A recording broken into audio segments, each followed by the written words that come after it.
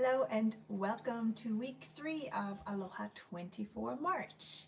For those of you who are watching for the first time, I have a painting challenge over on my Instagram channels, Aloha Watercolors and the Aloha Studios. We have a prompt every week. It's usually Hawaii related and we have a theme every month. And this month's theme is Native Hawaiian Flowers. And this week we're painting the Native Hawaiian Gardenia. So in Hawaiian it's called Na'u, also known as Nanu. I find this very interesting that there are so many things in Hawaiian where you have two different ways to call it. So yeah, it's one of the things. For example, there are multiple ways to say green as a color or blue, depending if it's the forest, the ocean, the sky. So yeah, so much for that. How's everybody doing this weekend? Let me know. So hold on. Mm. I have a little bit of a sore throat, so I might have a cold coming. I'm not sure. So if my voice sounds a bit wonky today, I can blame it on that and uh, let's not worry about it. I think it's just, uh, it's just gonna go away. Let me show you what we're gonna paint today. So the, um, the style is a little bit like the hibiscus we painted in the last live stream. Remember the Ma'o hau hele, this one from last time with a with a galaxy background. However, the technique today is totally different. So we're gonna start with painting the background and leaving the flower white. And then we're gonna paint the leaves on top of the background. So this is really different from last time with the hibiscus, where we just left the whole space for the hibiscus white. So it's a new technique for you guys, and I hope you enjoy it. I'm to turn the camera around because then I'm also to be able to see your comments in the chat. All right, let's turn the camera around and let's get painting. Okay, you know the drill. It's going to be shaky, shaky. Hold on. Here we go. And as always, please let me know how the audio is. If you can't hear me or if I should zoom in more closely or zoom out, just let me know. Oops, okay, almost there, almost there. Okay, here we go and I have my iPad ready over here so I can look at the chat. It's trying to open up. Hold on. Okay. Here we go. Oh, hello everybody. Tracy, Alina, Sylvie, Debbie, Mom is there, Irene. Oh, Irene. Guys, I have to show you. Oh my goodness. Do you see do you see Irene in the chat? Um, Irene Moore. Okay, she painted me, you guys. It's so exciting. Let me show you. Okay. Look at that. I mean, come on. I feel like royalty. I have somebody that painted me. this is incredible, right? I mean, I mean, just the fact that she painted me, but then that she really caught me so well Irene, Dankeschön. It is so incredible. I feel so honored. I'm like, oh my goodness. Oh my goodness, you guys. Okay. So, danke, danke, Irene. I just wanted to to tell you guys because I just saw Irene in the chat, so I just could not not do it. yeah, man, so much excitement. Okay, let me talk about um, today's supplies first.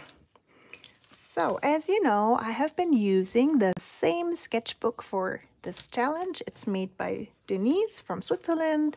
Her handle is Art Moments. and it's a handmade sketchbook using Arches paper from France, also pronounced Arches if you want to anglicize it. It's a very nice, heavy, cold press paper with a rough structure. So, mm, beautiful. Then for paints, I'm going to use my own Aloha watercolors.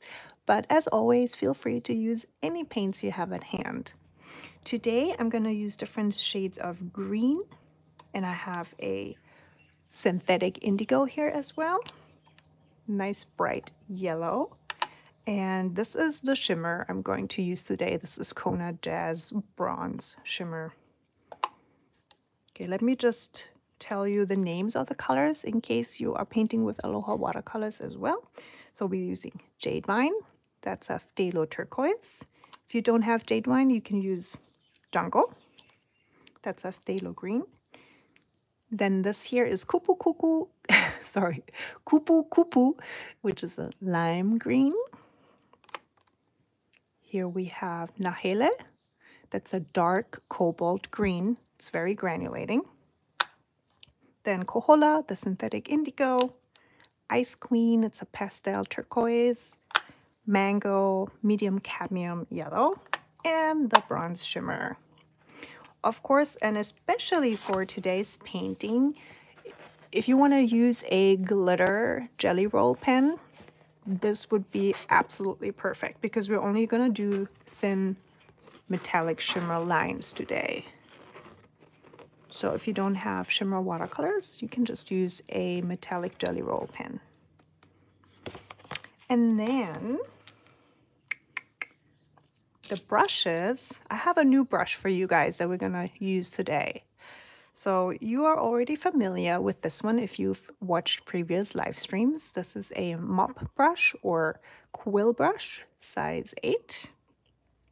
If you don't have this, you can just use a round brush. And I'm going to use the medium size, size 6 round brush.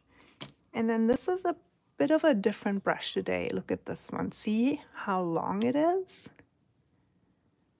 This is called a liner brush. I think it's also sometimes called a script brush because it's used for calligraphy a lot.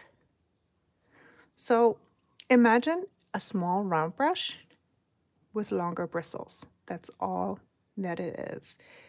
And it is tricky in the beginning. So if you use it because you need more control. However, when you use it a lot, you know, you get better and then you can make lines really wonderfully with this one. So I'm going to demonstrate this later. We're going to use this one to apply the metallic watercolor lines in the end. So the rest, background and the flower itself, we're just going to do with these two brushes. Actually, I could probably do the whole thing with my beloved size 8 mop brush, but um, for some smaller details, you know, it's always good to have a slightly smaller brush at hand too. Okay, I think this is it.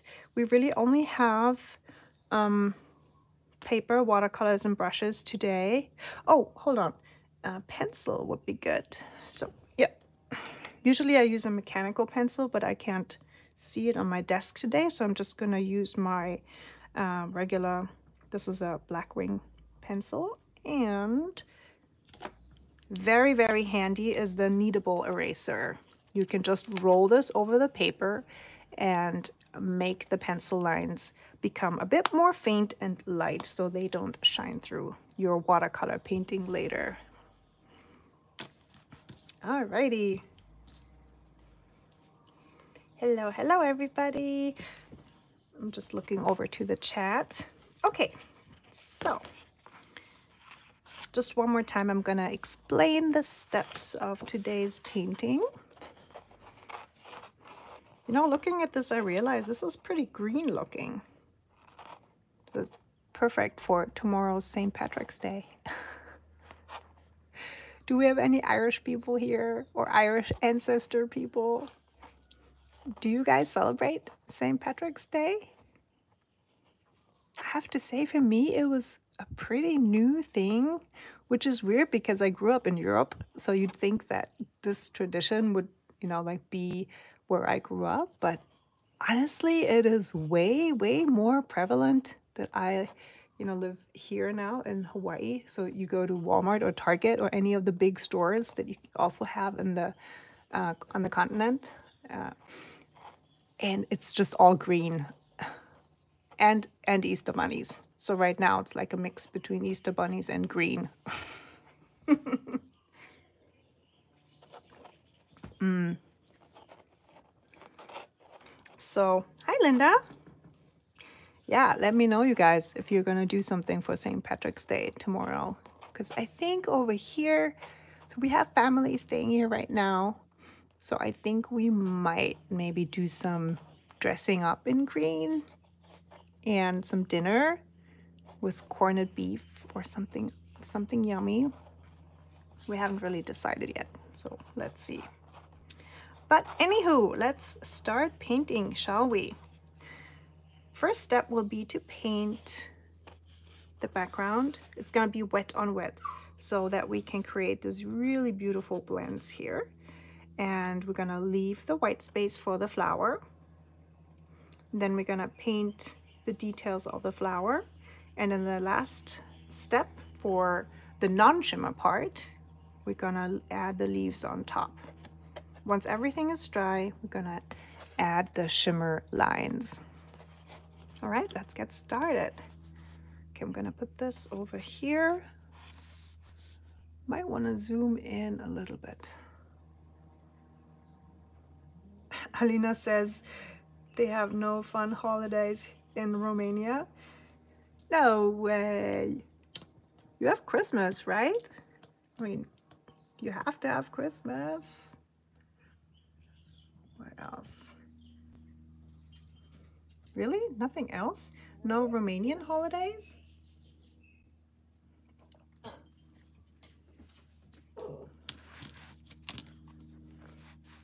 Okay, you guys, hold on. Uh, Leo is here and he wants something. What do you want? Do you want to go outside? I can't play now. I'm, yeah. No, I'm painting. I can't play. Hey, you guys, I'm just gonna let Leo go. Yes, that. Go outside. I, will be. I'll be right back. I apologize. Okay. No, you go outside. Come. Come, Leo.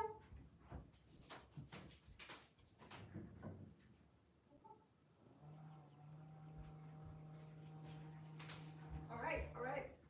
I'm back. I'm back. Almost. Almost there here I am. Sorry about that. But you, I mean, if you've ever watched one of my live streams, you know there's people coming, bringing fish. There are dogs coming in and out. I mean, you, you never know. UPS guy, UPS guy and dogs madly barking at him. You never know what happens. Mm. Okay, let's get started with the flower. Oh, I was, of course, you know, wanting to show you a real Na'u or Nanu flower, but they're so rare. Um, and even if I had found one, you know, I would have not picked it because they are so rare. So they resemble gardenia flowers, but the petals are kind of wider. You know, a lot of gardenias have kind of skinny petals, so that would be a big difference uh, in, in looks. And interestingly, they have six petals. So I think for a long time, I thought that all flowers have just five petals or, you know, an uneven number. But I was wrong. I hope you can see that I'm, I'm drawing pretty lightly. Let me go closer. So I started with a circle, put the small circle in the center, and then I'm drawing in the petals, six petals going around.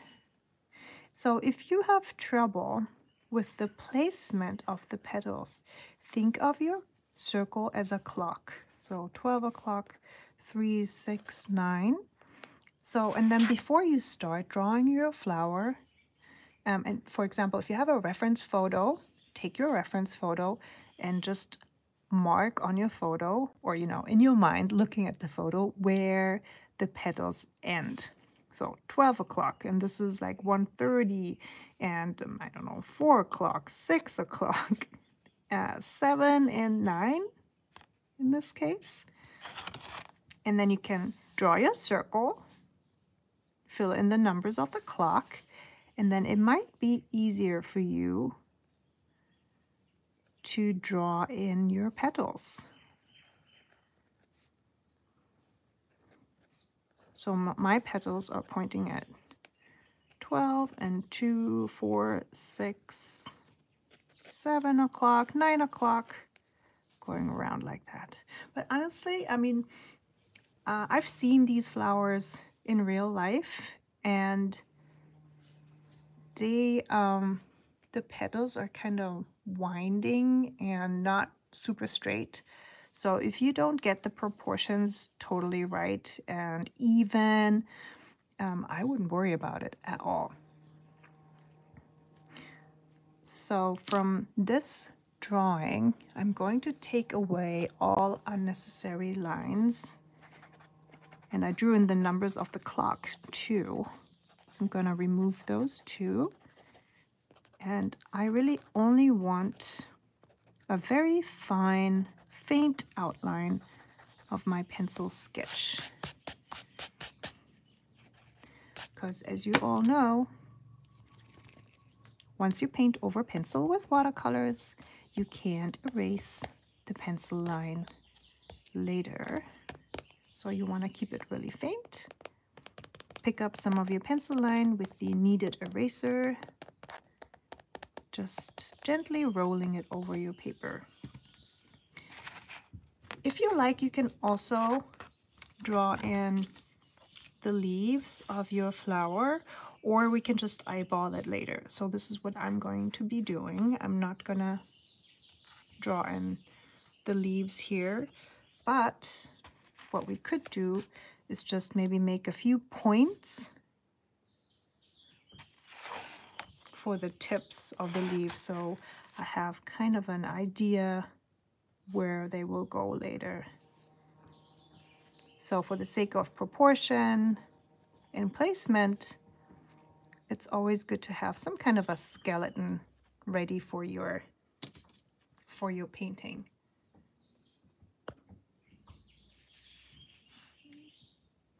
All right. Ah, I'm looking over at the chat and Alina likes the idea with the clock. so you guys, if you check out my step-by-step -step tutorials on both the Aloha Studios website and the um, in my Aloha Watercolors website, then you can find a lot of flower tutorials step by step and I'm using this idea of the clock, the flower clock, a lot. So check out Tropical Flowers or Hawaiian Flowers, I think it's called, over on either of the two of my websites. And, you know, I have like um, different, different tropical flower step-by-steps over there. I'm going to leave a link later in my um, description in my comments here. So you can find it. All right, I just have another dog that came in here, so sorry, it's a bit... Huh? You. Hello. Hi, Mali. Oh, you. Okay. Okay, so go play. Next step, we're gonna grab some water. I'm gonna zoom out now again because we're gonna do the background wash now. I have my mop brush, picking up some water.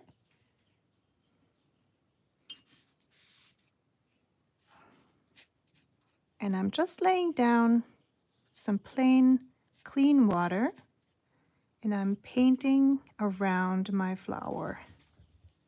So if this is too tricky for you because this is such a big brush, you can start with painting the background like this and then swap to a smaller brush to get the details.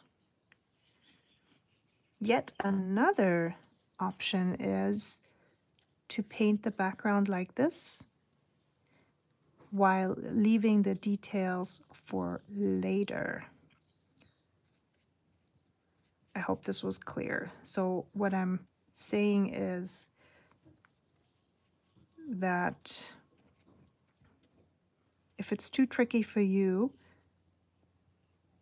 to get all the fine lines, the outlines of the flower with this big brush, then just lay down some water in the, you know, general vicinity of the flower.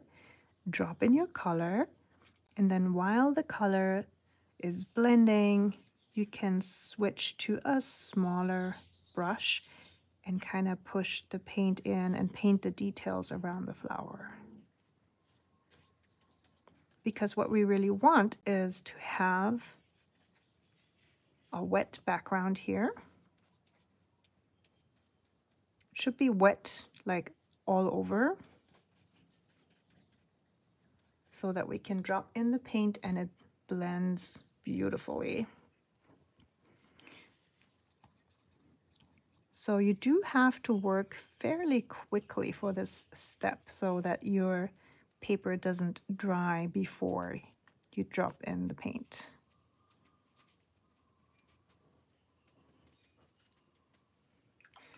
And I wouldn't do too much mixing. You can really drop in your paint, drop, drop, drop, and just let it blend by itself. Like this. And now I can demonstrate what I meant before, what I was referring to before. You can just take your smaller brush and then push the pigment to exactly the spot where you wanted to define the flower.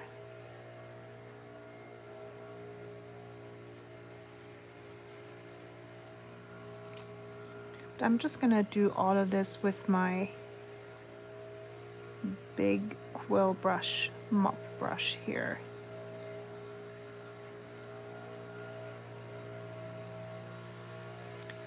one of our neighbors decided to switch on the leaf blower. I hope you can still hear me.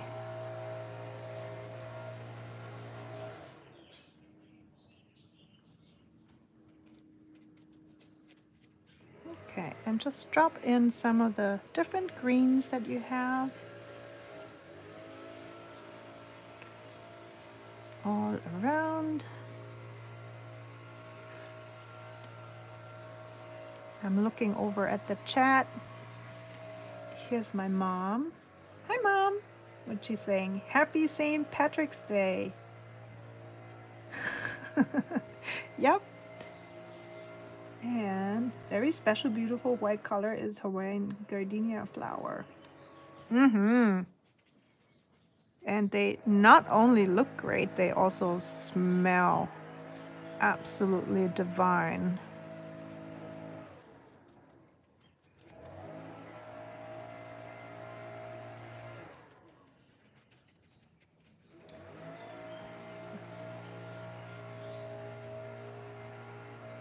So once you have a few of your green colors laid out like this, you want to pick up some of your darkest color. In my case, that's my synthetic indigo.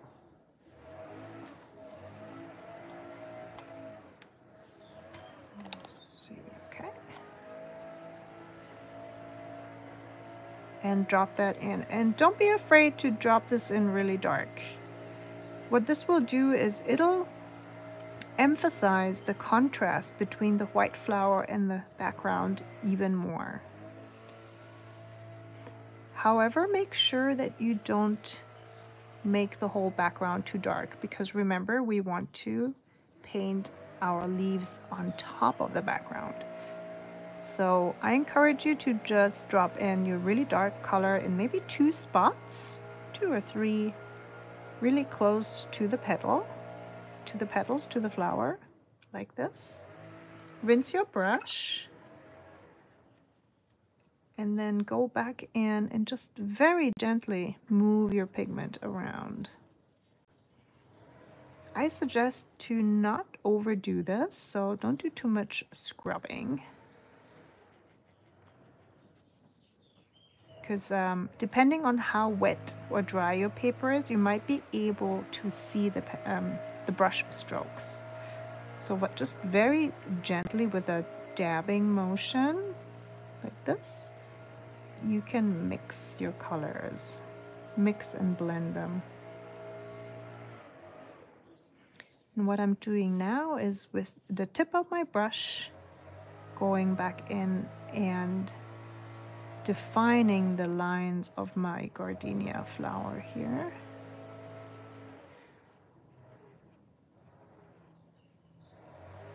The beauty about cotton paper is that it retains the moisture very well and it allows you to work on a background like this for quite a long time. And of course, the very humid climate here is also helping. So we usually have humidity between 85, you know, between 80 and 90 percent.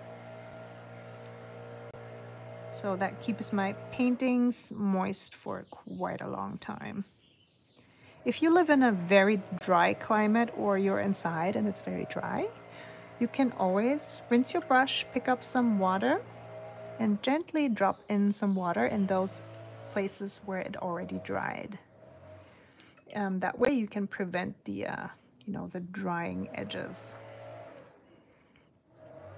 So I feel as if this might be a bit too much indigo here. So I rinsed my brush and I dried it, just picking up some of my indigo here.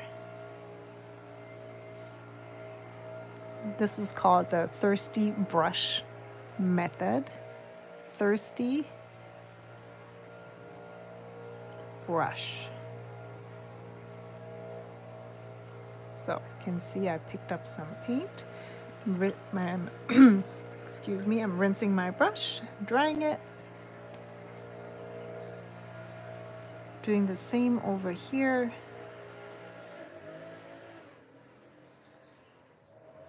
just picking up some of my pigment here to lighten up the background.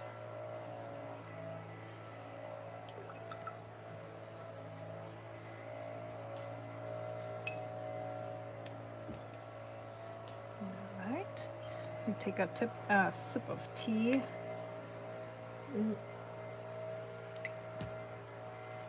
My iPad keeps going to sleep. So, okay, I just woke it up and I can look at the comments again. And mom is saying, oh yes, this flower smells absolutely divine. Kind of like uh, mm, plumeria, jasmine. They have this wonderful sweet floral scent. All right, so for the next step, it's really important that the background is very dry. So I'm going to go and use the hair dryer to dry the background.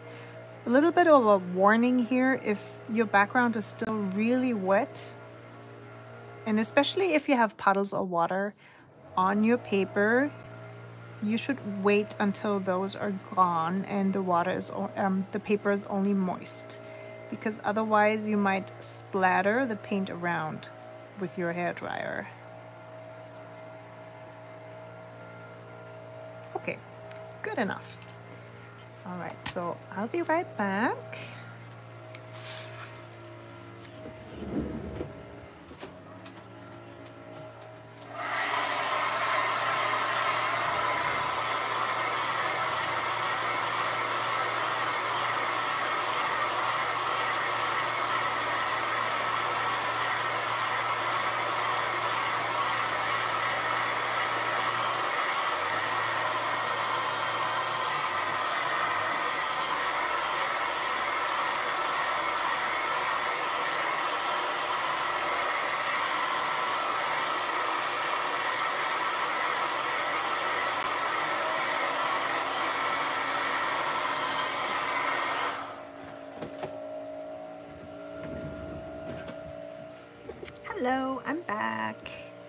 Gosh, I hope that leaf blower is not too loud for you guys.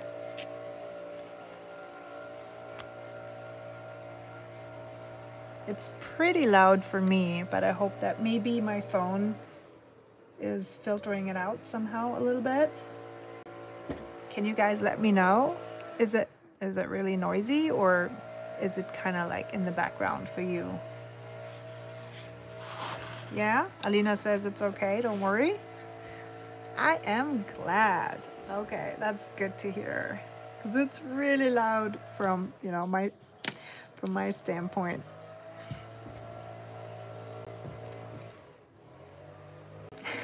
and Susan says, You live in a treehouse, it's expected. Yeah, I know.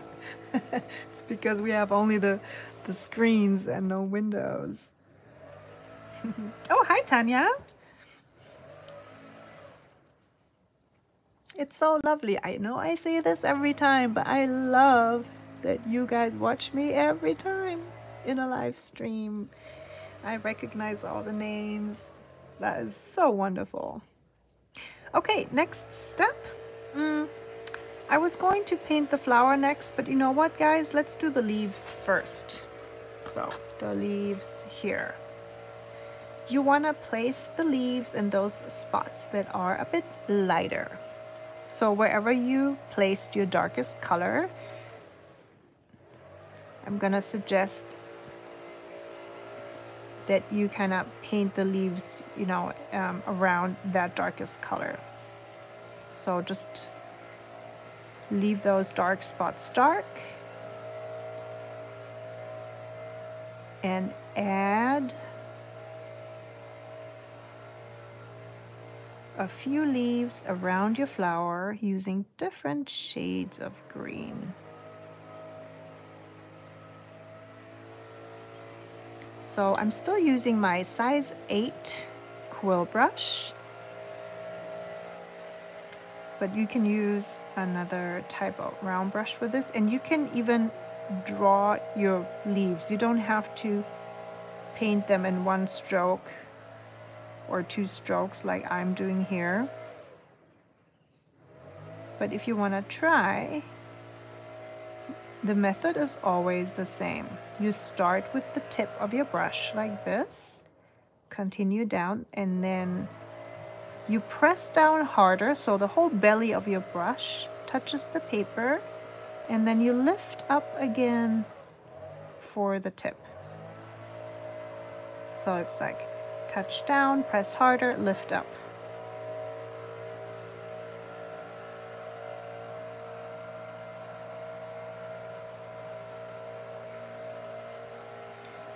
Okay, so for the leaves to show up, make sure you use a bit of a thicker consistency of your paint. And this way, the leaves will show up even if you're using kind of a lighter color. So I'm using my lime green.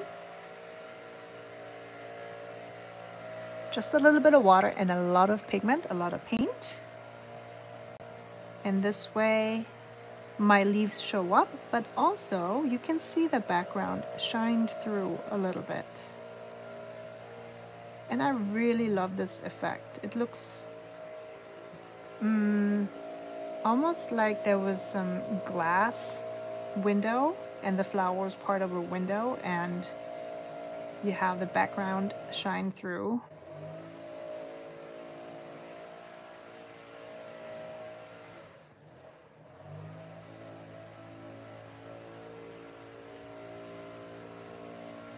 For some variation of color, drop in one of your other greens while the paint is still wet. So in here, I'm gonna drop in some Jade Vine Phthalo Turquoise into my lime green. Hmm, let's do it here.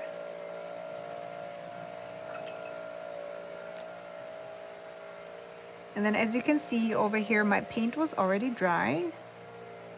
So with my rinsed wet brush, I'm just gonna go back in and gently dab dab, dab, dab around on my leaf to blend these colors. Let's switch to another green. Gonna do Jade Vine, my Phthalo Turquoise. And as I said in the intro, you can also use another type of a transparent green. So Phthalo Green,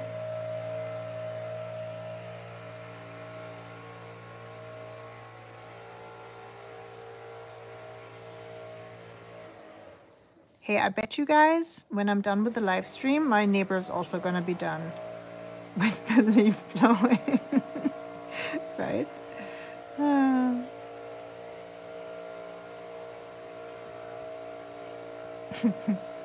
oh, and another tip, just because I did it the other way, if you start from the flower going outwards, I think it's easier to control the shape and size of the leaf and the position. Because you know you can set down your brush exactly at this point where it touches the flower. And then just kind of let go to create the pointy tip.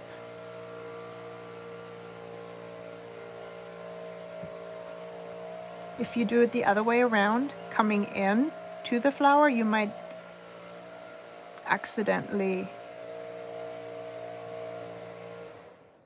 paint into the flower a little bit too much. All right. And of course, you know, you can do this part as loosely as you want. I did controlled brush strokes for my leaves here, but you can just do this whole leaf thing here very loosely. Quick, quick strokes. If you like, you can also experiment with letting the background dry to the point where it's almost dry, but not completely, and work with some interesting blends here.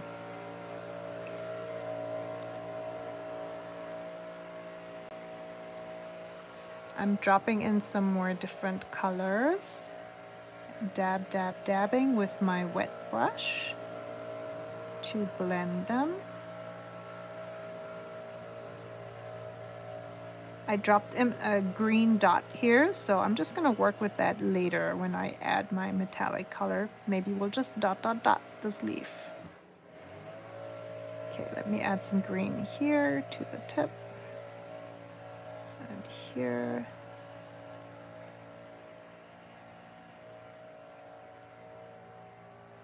Ooh, I think my neighbor is moving away with the leaf blower. Ah. Maybe Saturday is not a good day. I kind of feel like they're doing this on Saturdays. Hey, question. Do you guys have designated days to do certain things? Like cleaning or leaf blowing? you know, things you have to do around the house or your apartment or wherever you live. It's like, do you have certain days? So I do for certain things just so that I don't forget them or, you know, I don't forget to do them regularly. Like, uh, let me see. I wash my bed sheets every weekend. Like, absolutely want to make sure I do that. Yeah. And then, of course, you know, I have certain days that um, I do certain things just because, I don't know, that's kind of like in my schedule. So, for example, for work, you know, certain Instagram posts, etc., they go live on on certain days. So it's kind of like predetermined what I have to do there. But I think for for things around the house, it's really helpful for me personally when I set specific days to do certain things. Like cleaning my studio, I also do on the weekend. And I really try to do it every week because messy, messy, messy if I don't do it. so Tanya, Tanya's cleaning day is Thursday. Oh, you mean cleaning everything? Like cleaning the whole house, like vacuuming and, and everything? Oh my gosh, that would take me a week. so much to clean here. Um, and yes, Alina, I live in a treehouse. It is not, I think, strictly speaking, a treehouse in the sense that we're we're not up in the tree. We are elevated, so the houses are on stilts, and the trees are on eye level, kind of. But you know the the the the base of the house, at least partially, is still connected to the ground. If you wanna, you know, you can look at photos of the treehouse when you go to the uh, to our Instagram. It's Treehouse Kona uh, on Instagram. And then you can see pictures. So yes, I mean it is absolutely fun to live in a treehouse in the jungle, but it's also incredible how much repairing, fixing, cleaning we have to do all the time. But hey, I'm not complaining. I'm just saying that if I didn't have days where I set up certain things I need to do, then I don't think anything would get done.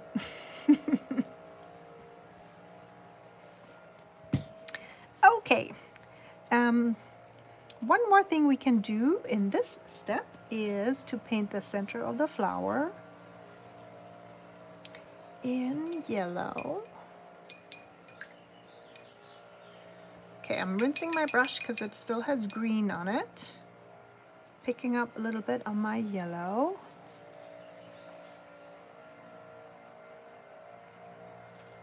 And just dropping this into the center.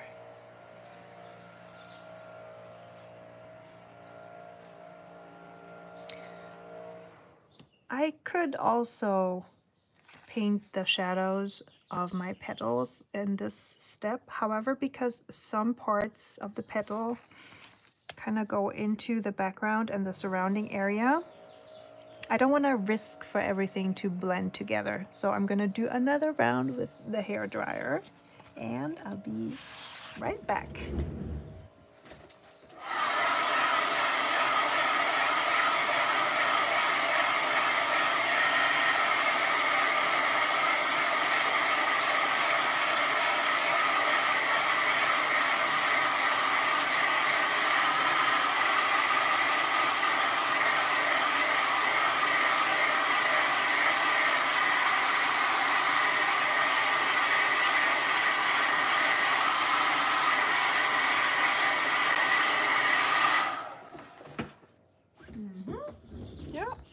That's good.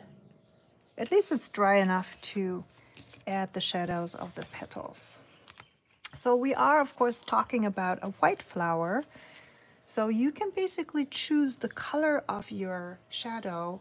You can choose any color to do that. It's something that I like to do in blue because I think it, it creates kind of like this icy white feeling. Uh, I think we do a lot of times connect the color ice blue to white like snow or ice. So I think it's a really good color to use for shadows when you want to paint something white. But theoretically, you could also use a different color. So for today's example though, I will be using this color Ice Queen, which is a pastel turquoise. If you don't have this kind of color, you can also use a diluted version of any kind of blue that you have. Or even, if you have the Phthalo turquoise, a very diluted version of this one would work very well too. If you work with a reference photo, take your reference photo and up the contrast or turn it into a black and white photo and augment the contrast so you can see exactly where the shadow and the light part of your flower and petals are. And then accordingly, you can add shadows to your petals.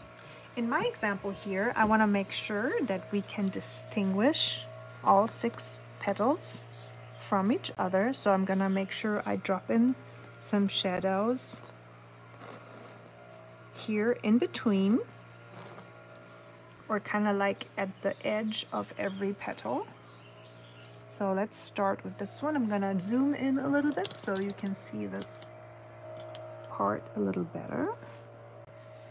Okay, I'm, I'm gonna start with my top petal, drawing in this line here. And the best way to do this usually is to lay down a bit more pigment right where the line is, like this.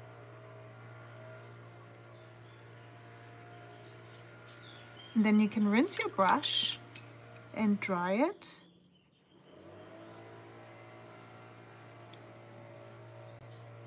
And then with your clean brush, gently move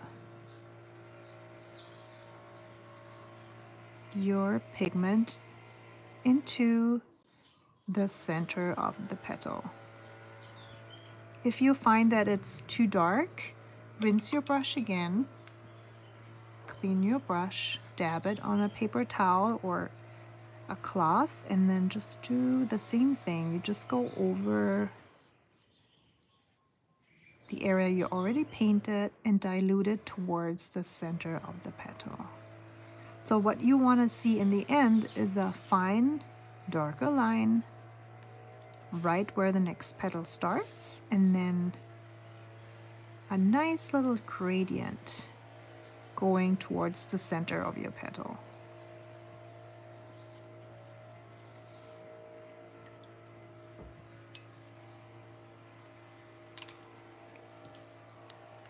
So a lot of flowers have petals that are kind of curly on the edges and we want to paint this as well. So for this one here, I'm going to have it curl like this.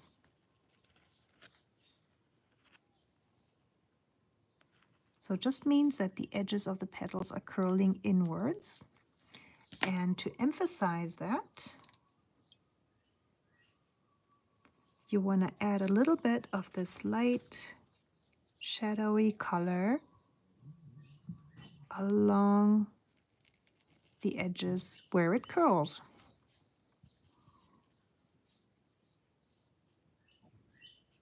And again, towards that line or right by that line, it should be at its darkest and going towards the center of the petal it should get lighter and lighter. So I just rinsed my brush again, picking up some of the darker pigment and just moving it gently towards the center. And make sure that the center of the petal is still white.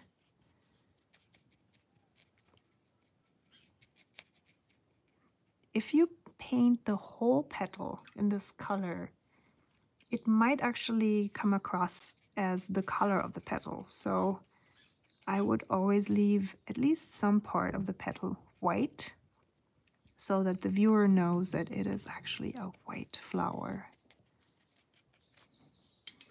Uh, can you hear that, you guys? You can't hear it? Neither can I. And that is so wonderful because no more leaf blowing. Yay! ah, it's so nice when you can only hear the birds. Ah. Well, and the dogs. They never disappoint. they always come up with some barking at some point. Okay, let's move on to the next petal. Again, I'm going to make it curl a little bit. And for some variety, it's going to curl a bit differently than this one. So this is going to curl on both sides which means we're going to add some paint all around where I just drew my line and we're going to apply the very same technique as in petal number one. Rinsing my brush, drying it off a little bit, and then picking up some of my pigment and moving it towards the center and for this one, I'm leaving white in the center and also down here. And again, if you feel that it's getting a bit too dark, that there is a bit too much color on paint, rinse your brush and dab it on, on your towel. And then you can pick up some of the paint. Rinse again, go back in, pick up some paint. All right. Moving on to the next one. It's going to curl just here on, on this side. All right, picking up some of my light turquoise. Mm, I think my brush was a little bit too dry. Okay, let's add a tiny bit more water. And please feel free for this step to use a much smaller brush. I'm still working with my size 6 brush, which is a bit, a little bit big, but it has such a great point.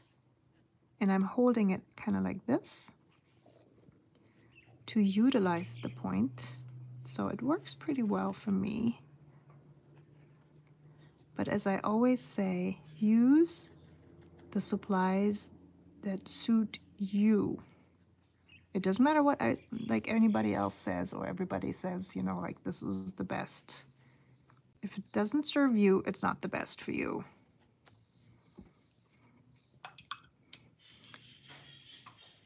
All right, I still think my lines here are a bit too harsh. I want it to blend better with my white. So I'm gonna go back in with my cleaned br clean brush and just rub around a little bit.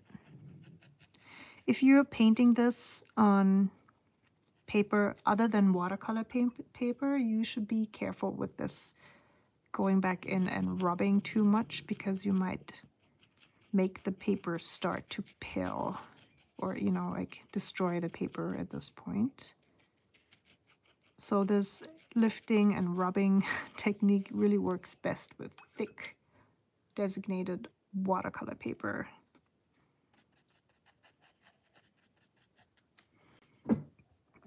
Okay, my iPad keeps going to sleep. I want to keep an eye on the chat. Let me reopen my iPad and look at the chat. Okay. Oh, you guys have been quiet. Good, good. I assume it's because you're all painting along, alongside with me. Is that right? I hope so. So for this petal, it's only gonna curl down here. So pretty much just the tip of the petal, which means we're gonna only add a little bit here down at the bottom.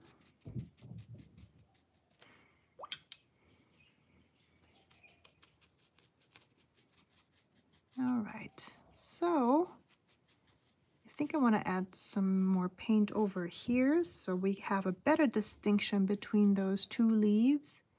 And it will also indicate that this leaf is on top of this one because it casts a shadow. So this leaf casts a shadow on this one here where they overlap.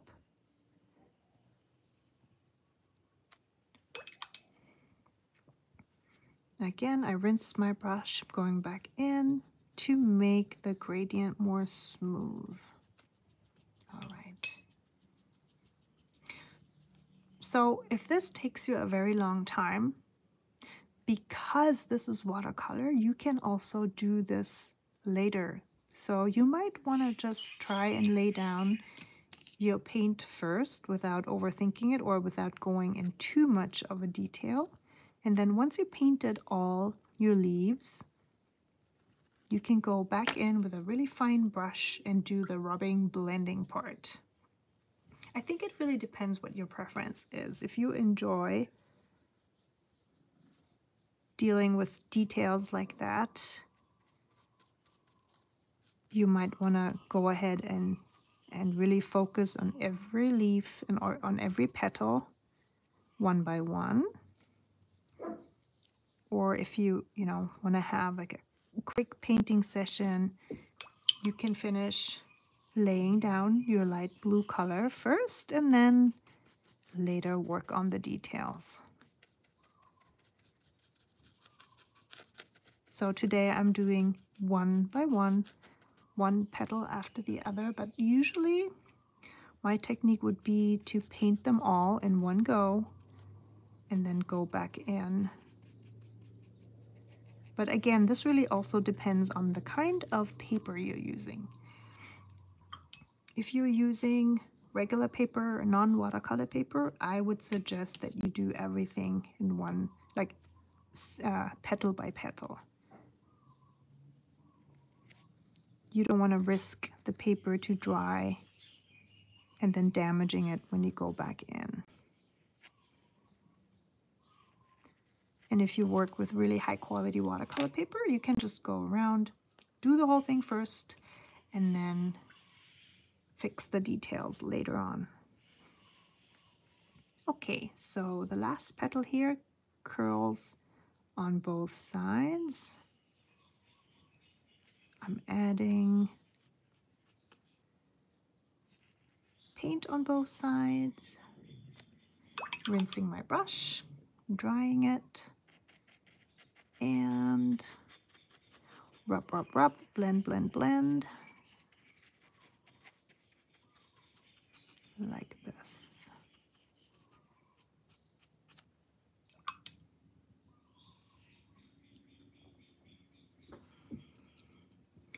So ideally, you would be able to first see that you have six distinctive petals and that they kind of curl in different sections like that. All right, I'm looking over at the chat and Linda wants a treehouse. so question you guys, who of you had a treehouse when they were young. Did any of you build a treehouse of any kind? Don't know, in a in a wood close by, in a, in a forest, or in the garden, in the yard, in your room. but maybe a little fortress. Not a treehouse, but a fortress, or something of that sort. I had all sorts of caves going on when I was a kid caves going through my room. It was impossible to enter my room. I remember that. I mean, I would build tunnels going through my room. So not really a treehouse. I guess I didn't anticipate that until later. So I did build a treehouse when I was a young teenager but honestly it was more like a few a few uh, how do you say you know pieces of wood stuck onto like two limbs of a tree like very very precariously. Nothing like in those cool novels where you have a tree house with a hanging ladder and you can roll it up and it's you know like only for uh, for your friends and yourself and it's all secret and cool. Mm, no nothing like that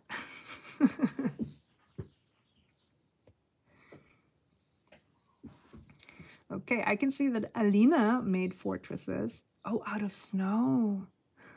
Ooh, yes, like an igloo. Oh, that's cool. Yeah, we did that too.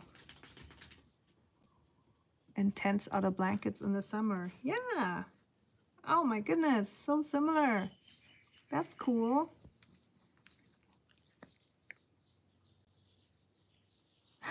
Linda had a, oh my gosh, Linda had this treehouse with a password. You guys are so cool. I can see why we met here on Instagram and YouTube because we share the love for treehouses and fortresses. Uh-huh. I have a I have a little dog here now that just jumped up on my lap. Hello. Uh-huh. So okay, Malio, I'm, uh, you know, I'm, I'm painting. Mm-hmm. Now she's chewing on my thumb. Hi, you little puppy. Yeah, okay. Hi. Hi. Ow! Okay, you go. Go, go, go. Go, go. Bye bye. Yeah, yeah. Oh man, she licked my nose. Always does that. I should be warned, but I'm not, and she always gets me. Ah, yes, yes, Alina, I love the puppy too, but, but they're everywhere. Whatever I do, they want to be part of it. mm. Okay, and Kelly says she had a fort. Ooh, how cool. You guys are wonderful. I love that we all built fortresses and igloos and, and houses and tree houses when we were kids. It's wonderful. Honestly, I still want to do that. I never lost that. That kind of, you know, sense of adventure. I still have that a little bit, at least.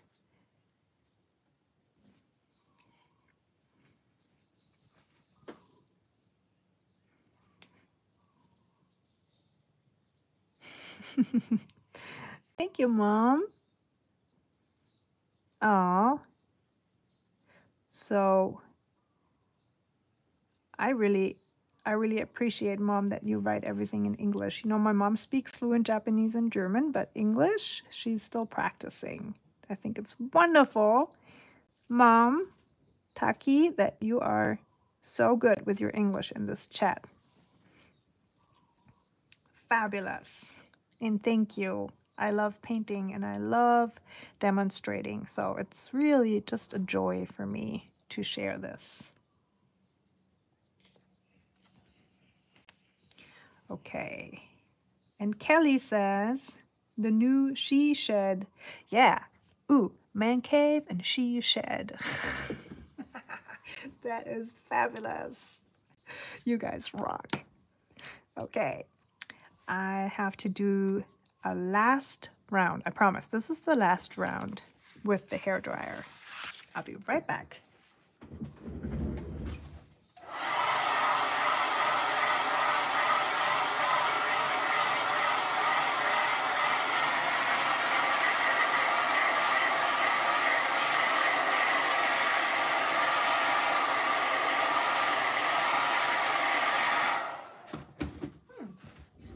This dried pretty quickly. Excellent. Okay, hello, I'm back. I'm back in the she shed. Da, da, da. So for this part, I am going to use my liner brush. So remember I said it's like a round brush, but the bristles are longer. And what that does is, like once you start drawing or painting your line, it just when you when you have this stillness of your hand movement and you know you you're able to do consistent strokes it'll just creates it just creates the most wonderful line. Uh let's let's do a little exercise. Hold on i'm gonna have a look if i can find a scrap piece of paper Oh, let's just use this one from the last live stream where we painted and practiced the hibiscus petals. All right. So, with the liner brush and my metallic paint,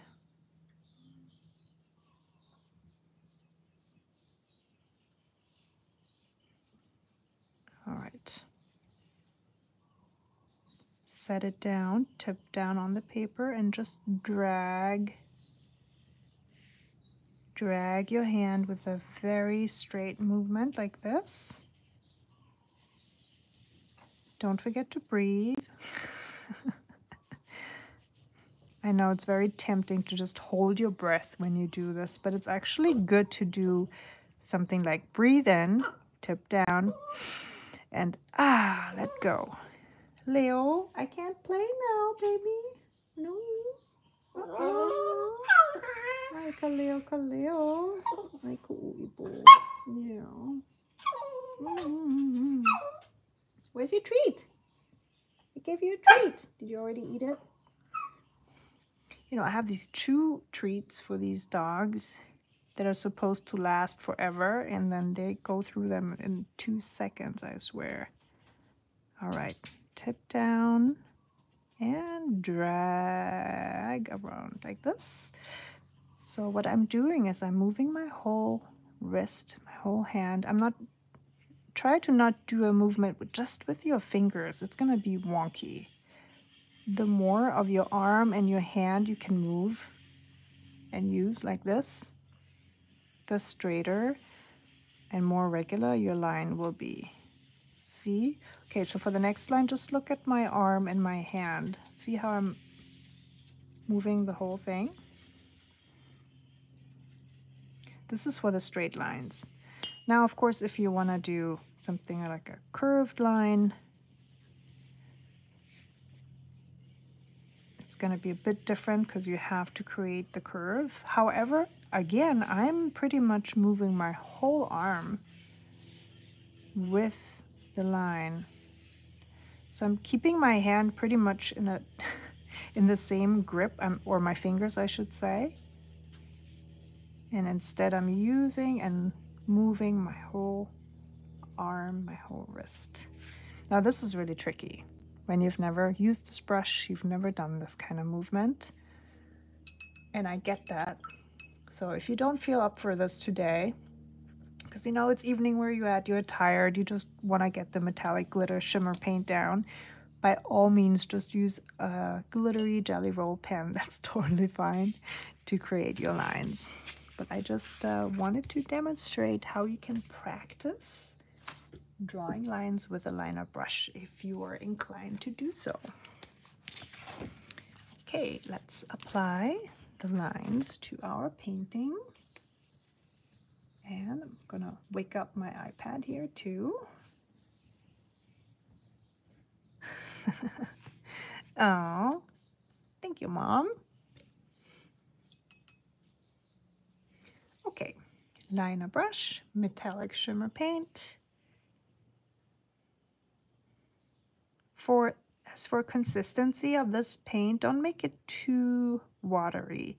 You want kind of like um, gouache consistency to this paint. Pretty thick, pretty creamy.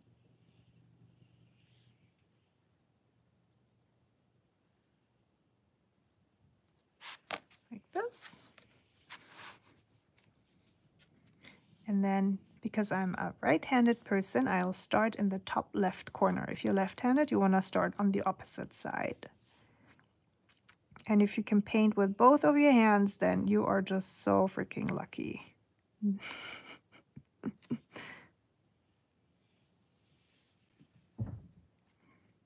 and I know this is a bit of a challenge because we're not just freely drawing lines on a white piece of paper. We're, trying to catch the underlying shape of the leaf.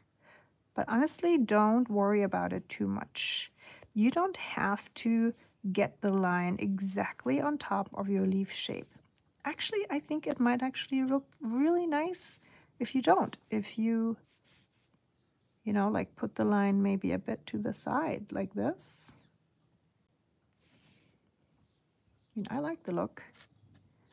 So why not? And just like with our hibiscus painting in the last live stream, you can add a few stars for a galaxy effect here in the background. Make sure you don't add the stars in a too regular fashion. So you want to create a few clusters with more stars and then spread them out a little more in other areas. Okay, back to the leaf. And some dots here.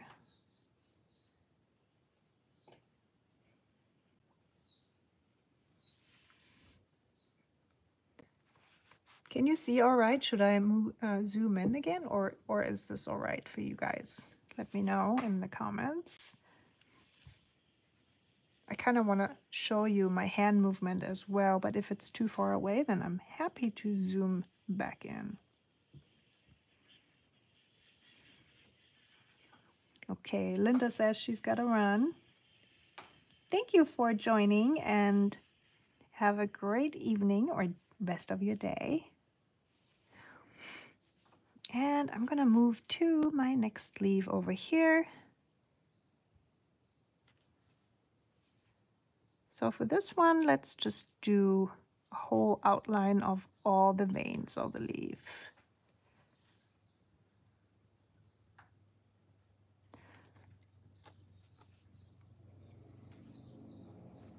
Okay, as you can see, I'm drawing pretty quickly.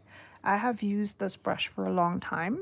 It's because uh, I did calligraphy and lettering for years and years and years, even before I picked up watercolor again. So I'm very practiced uh, with using this brush. So please, please don't be frustrated if the brush doesn't work for you right away or if you struggle with this one as I said, just use a regular round brush or another type of pen, whatever you have, whatever feels comfortable for you today. There's no pressure. Using the same stuff that I use, just do what feels good for you. Adding a few more dots and stars inside and outside of my background. And you can also use another color here. Think silver would look wonderful, especially in those indigo areas. Okay, so before I do the other leaves down here, I'm gonna start with the petals here. Now for this part, as you can see, I'm working a bit more loosely in the sense that I'm don't I'm not pressing down as hard as I did as constant as I did with the leaves. I don't want to create a perfectly mm, a perfect monoline for this, meaning it's the same width width. I'm kind of more looking for a thicker and thinner outline here for the petals. So I'm kind of almost doing more of a dabbing, dabbing and drawing motion.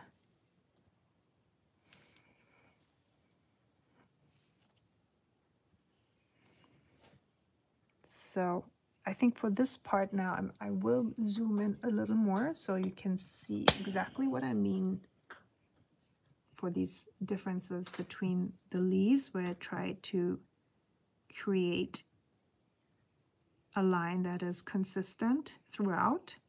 But then when you look at the petal here, this is much thicker and then runs out into, it tapers out here into a finer line. It's thicker here again and thinner. So I think it really creates or it emphasizes the curly nature of these petals.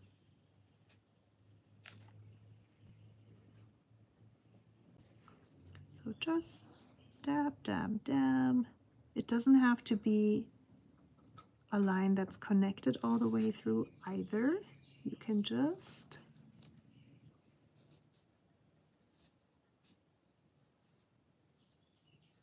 draw your line like this.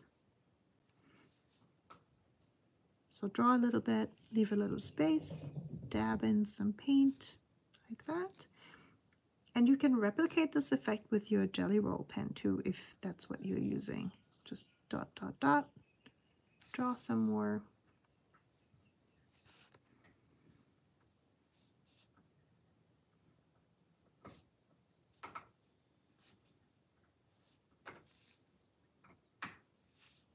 And the last one here. Again, see, I just missed my edge here, but no worries. The shimmer at this point is both to emphasize the outlines, but also just a decorative element. So I wouldn't worry too much about getting everything right on point or, you know, right on top of your background. And then for the center, I added a circle and then kind of like a star here in the center like this.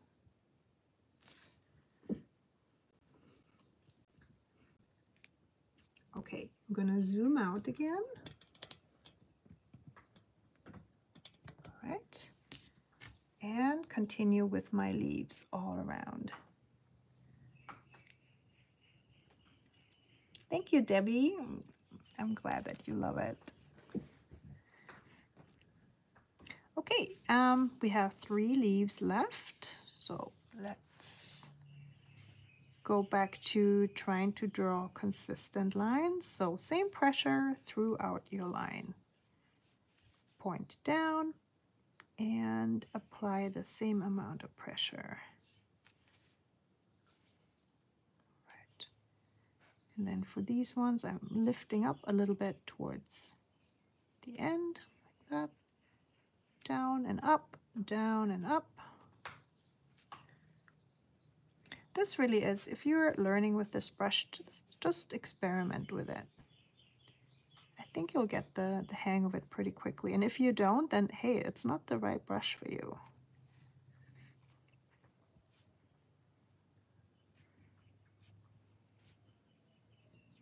And if you don't love the brush, use the one that you love.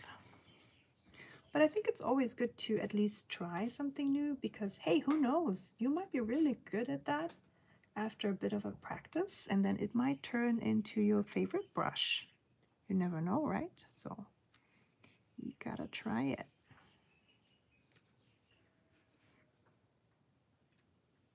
I think I really just always try and emphasize the point of, hey, if it just doesn't work right away, don't worry about it if you have the shakes after having five cups of coffee, then also that's not the best first day to try out this brush. You want to be chill, relax.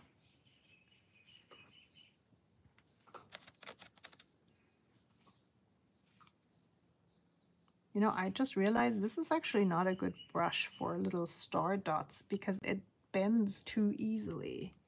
So I think for the stars, it's actually smarter to have a brush with shorter bristles. Mm -hmm. See how much rounder these are with a shorter round brush.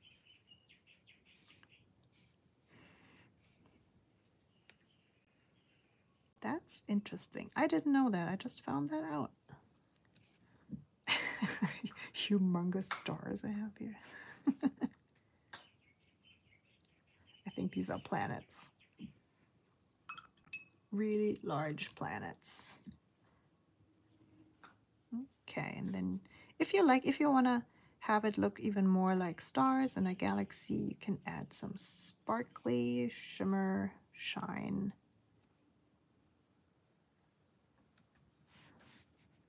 to a few of your stars.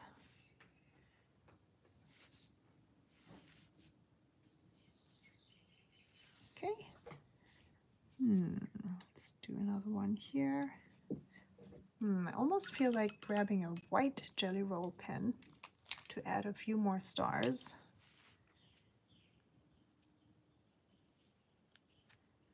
So I just did that. White jelly Roll pen and add a few more stars.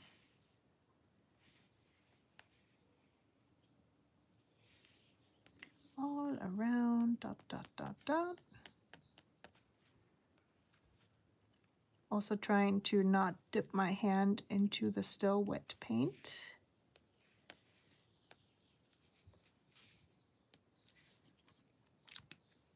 Okay, I still want to do something with my little dot here. You know, see the green dot that I dropped in here? So I'm going back to my liner brush picking up some of my shimmer paint and then I'm just going to add a few shimmery dots here to my leaf.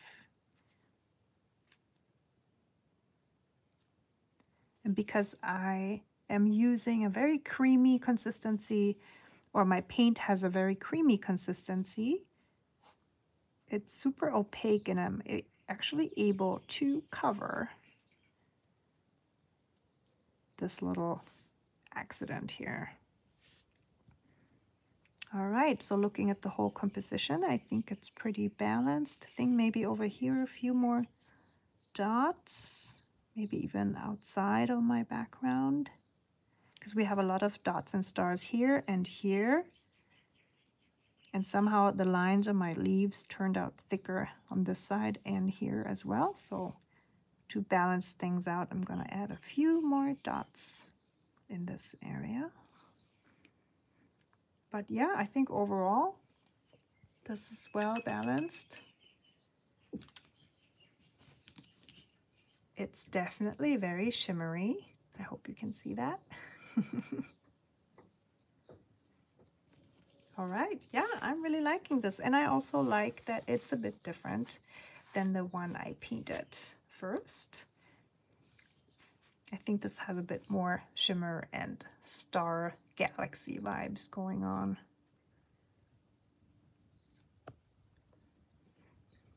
All right, you guys, I think this concludes today's live session. I hope you enjoyed painting along or just watching the stream. If you watch the stream later, then I hope you're loving it just as much.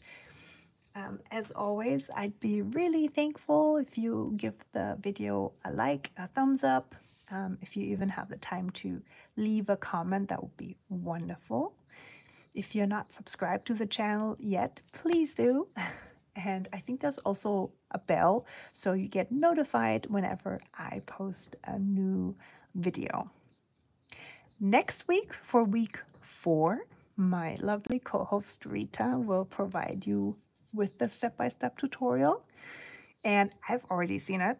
It's glorious, of course.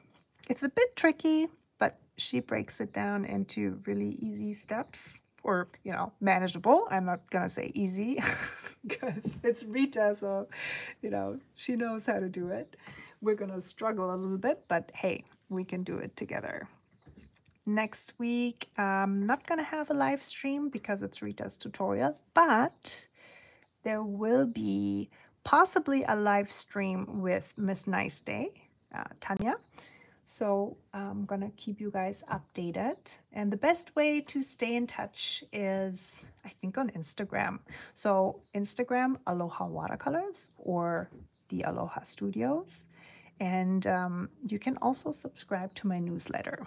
So you find that link to my newsletter um, down here in the comment section of this video, or you can go to either of my websites or my Instagram and I'll notify you about everything that's new, all the live streams and shop updates and all of that. All right. I wish you guys a wonderful weekend. If you celebrate St. Patrick's Day tomorrow, then happy St. Patrick's Day.